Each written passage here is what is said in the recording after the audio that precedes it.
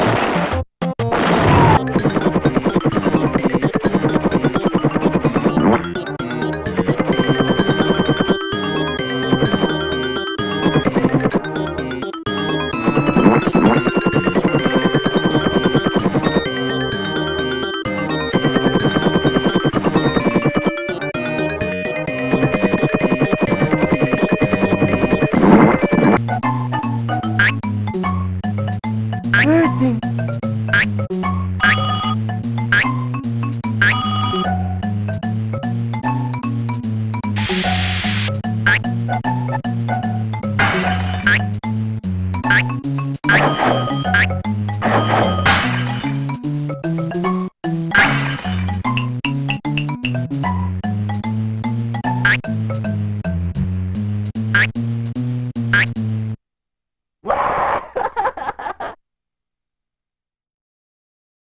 folks, it's time to kick it old school.